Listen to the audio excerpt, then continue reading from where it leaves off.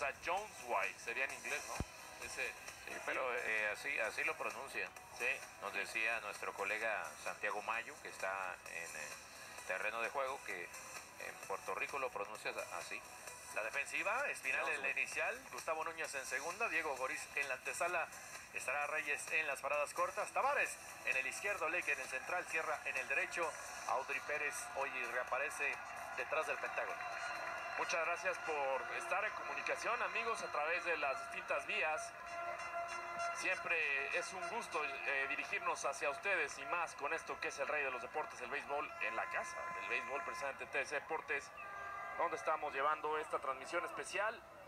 Una velada que se antoja interesante, dominicana, a tratar de confirmar lo que le hizo a Puerto Rico. Pues la verdad sí les pegó una, un baile, ¿no? La primera jornada.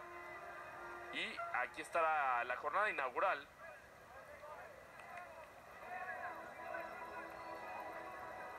Ven y calma ese antojo en Oxo, donde encuentras la mejor variedad y promociones. Oxo, chocolates 2 por 1 Bueno, vamos entonces ya con estos últimos preparativos. Eh, ya vimos la defensiva de esta escuadra que estará a la- al acecho de la esférica. Bien decía Juan Ángel, es un deporte donde no puedes hacer tiempo con pases laterales y echarte ahí a la maca. No, no, no. El béisbol tienes que pichar. Panamá estuvo un out de perder. Hemos visto muchos juegos que están a un strike de la derrota. Palo y adiós, ¿eh? Así es esto del... Así es esto. Sí, señor. El veterano Raúl Valdés va a lanzar, es el pitcher extranjero de más victorias ahí en Dominicana.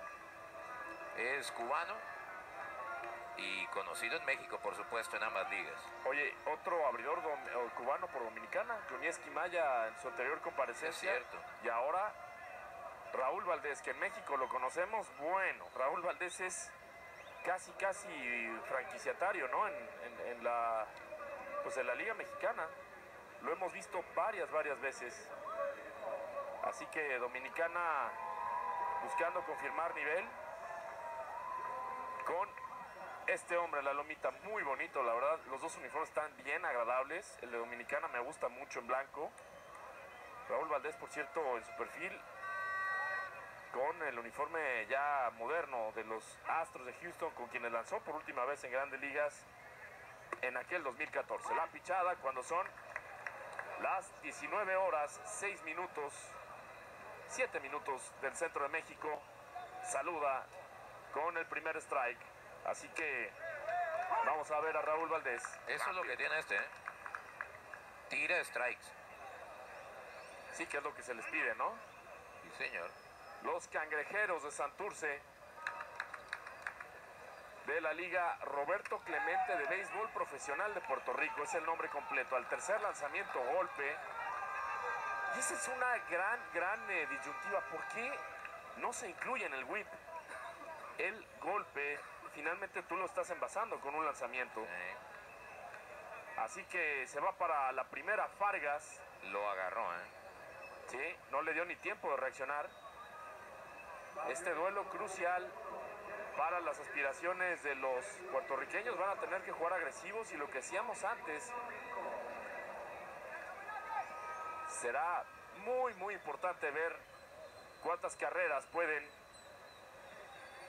eh, pues establecer como diferencia porque la verdad ayer se desfondó feamente el bullpen eh, boricua en el duelo también de la noche mi buen George. Sí, completamente de acuerdo. Un revés eh, dolorosísimo ante el equipo panameño que ya nos enseñó que está diseñado para pelear, para pelear los nueve capítulos. No te puedes relajar. Y bueno, qué problemas está teniendo Carmelo Martínez. Pesadillas auténticas con el bullpen. La línea, las paradas cortas, el tiro a primera, quieto. Alcanzó a regresar Jones White Fargas. Así que tendremos con esto la línea al 6. Buen intento ahí para tratar de complementar la doble matanza, pero alcanzó a reaccionar. Muy, muy duchos los corredores eh, caribeños por lo general, señores. Sí, claro, ahí pimienta corriendo sobre los senderos.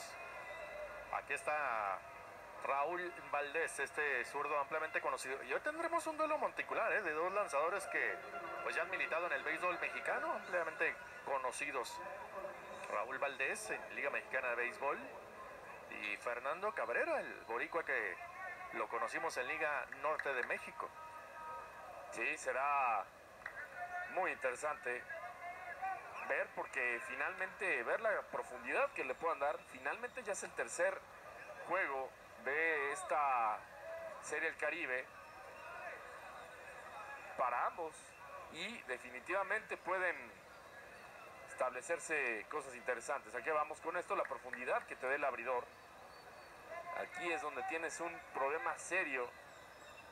Si el bullpen luce agotado, es un clima bastante demandante por momentos. Yo sé que son dos países del mismo clima prácticamente, pero una competencia de esta exigencia sí te toma un poquito más de nervios.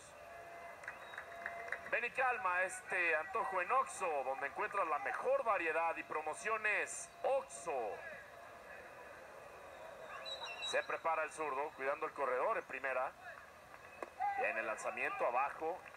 Y estamos con una situación de una bola, un strike. Obviamente la defensiva dominicana esperando para hacer la doble matanza en este juego de pelota que insistimos puede dar mucho drama. Anoche,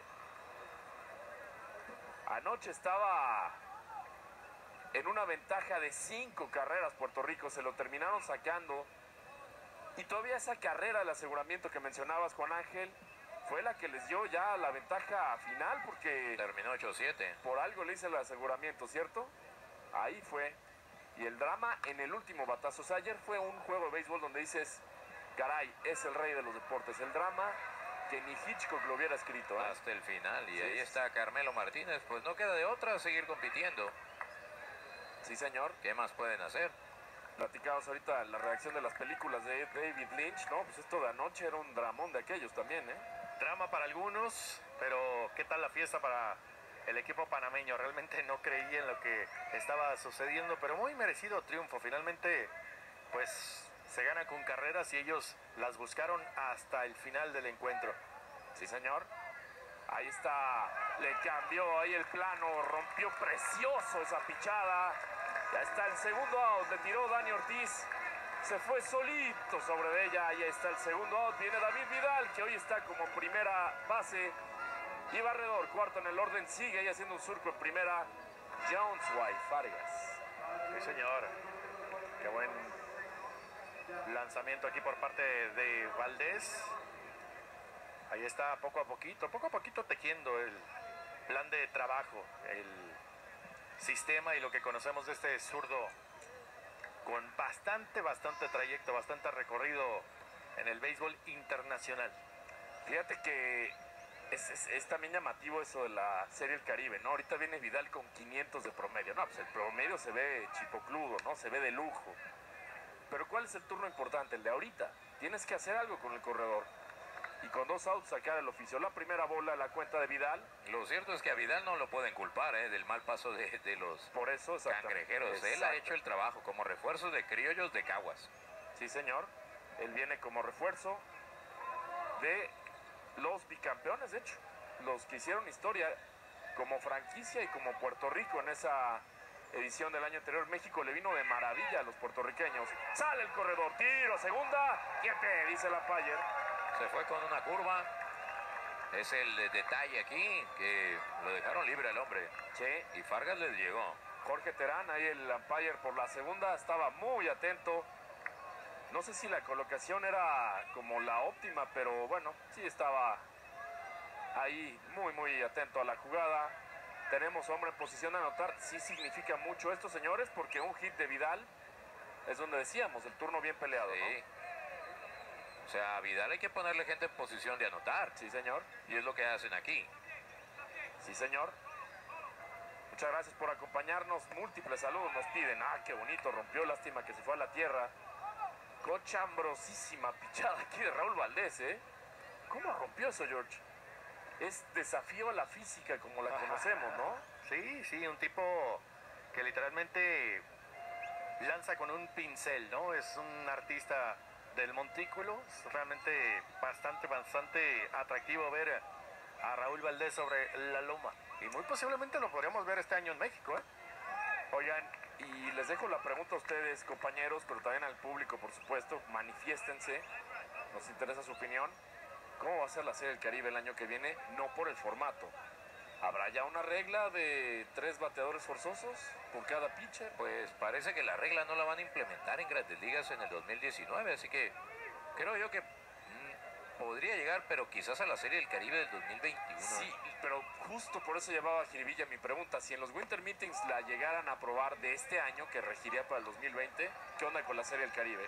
Lo pierde al bateador, David Vidal se va, pasa porteado para la inicial, va a la posición de segundo corredor, es decir, detrás de John Sway Fargas.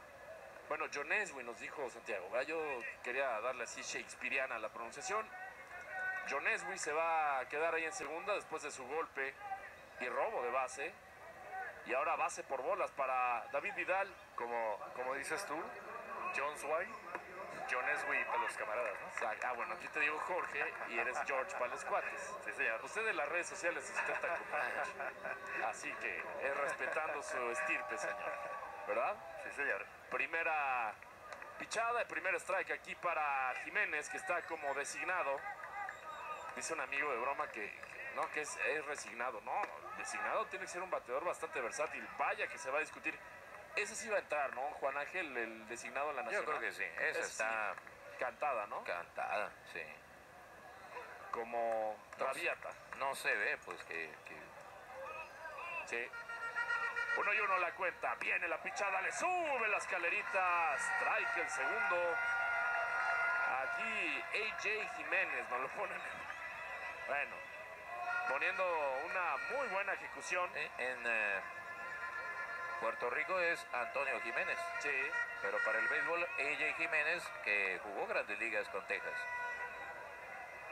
Texas que de ser la, por cierto, Juan Ángel, la organización ejemplar en cuanto a Firmaron a Hunter Pence el día de hoy, los Sí. Rangers, que jugó en el Caribe con los Toros del Este. que lo y querían los Charros. enfrentó a este pitcher Valdés. y lo querían los charros de Jalisco afanosamente. ¿se Lo acuerdan? querían varios y decidió él ir a Dominicana. Mira. Hunter Pence, dueño de una mecánica bastante peculiar, pero bueno, tuvo buenos momentos. Me tocó mucho eh, narrar crónicas de él cuando estaba con los Astros de Houston. Una época bastante asiaga, por cierto.